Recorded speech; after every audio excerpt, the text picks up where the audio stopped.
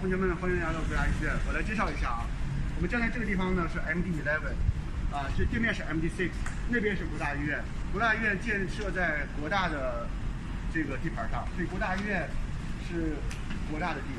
啊，国大医院和这边是医学院。呃，这边呢是这个电机室，是咱们医学院这个所谓的这个杨路理医学院。啊，这个2005年呃七月三号开幕的时候，咱们的国父李光耀。呃这个电机室，我们到里边去介绍一下咱们医学院的历史。哎，那么国大始于医学院，所以百年国大医学院开始。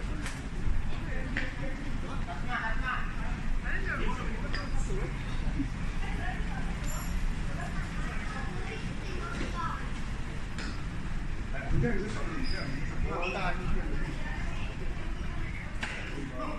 从这儿开始。那么这个一九零五年的时候呢，零四年的时候呢，本地的一些呃华商领袖侨领啊，希望呢能够让新加坡培养本地的医生啊，就得到了殖民政府的这个批准之后呢，筹款，呃，就筹了多少钱呢？有五千新币，当时应该是什么币啊？不知道什么币啊？啊，这筹了九千，然后就筹备了医学院啊，买了个一栋黑白屋吧，成立了这医学院的前身就是一九六五年。就整个国大的源头起这儿啊，后来到一一年的时候，又有一个捐一万五的，吧？一万五，就是大概是从这个十万零五千开始的。所以这个故事，就是海峡殖民地的联邦的呃政府医学学校，应该这么说对吧？那个。后来升级了，为什么呢？因为从华商一看，哎，这波华商捐了十十多万啊，咱们秦汉大英帝国的实力。大英帝国的皇室捐了十二万四千八百五十五块八毛七，呃，估计他当时捐的是镑，所以说一转换变成这个了。就捐完钱之后呢，这个就变成这个了。爱德华七世，爱德华七世医学院，对吧？这个国大有个传统，捐钱的话就可以改名，所以下次也可以那个，呃，王莹，你可以捐点钱，成立一个王莹美术学院，或者是王莹什么学院，不知道。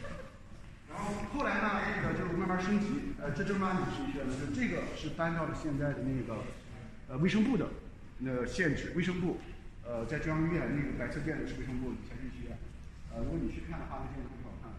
然后这个马来亚时期是当时跟马来西亚人民合并的时候是马来亚大学，啊，后来就是咱们这个新大新大时期啊，就这个新新大时期，后来就是这个这个校区的。因为之前呢，医学院是在中央院那边，后来就搬到这边了，啊，医院从这儿建了，所以说呢，而且它跟那个南洋大学给合并了，为什么呢？啊，大家都知道发生过的事情啊，就不说了啊。总之，南大被关之后呢，啊，南大顺应时代的潮流，呃，停业之后就并到了新大，变成了新加坡国立大学，呃，南大历史可以讲很多。后来呢，二零零九年呢，有一个非常啊慷慨的家族。捐了一个亿啊，一百个 million，呃，一百个 million，一百年一百个 million，呃，这这个故事在这儿。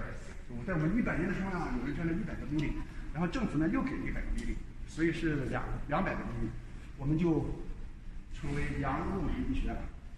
所以这就是我们的历史。然后同学们非常重要的，呃，你看上面啊，应该是别的学院都没这事儿，就是所有的系啊，它的。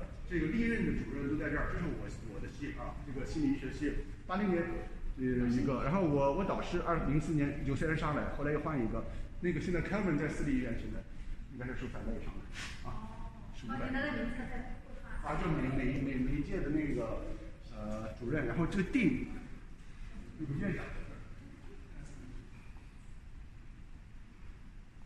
这历任的院长在这儿，新任院长是。教授，好，像前面是开关，前面是教育。好，这就是目前这个区域。好。小红书。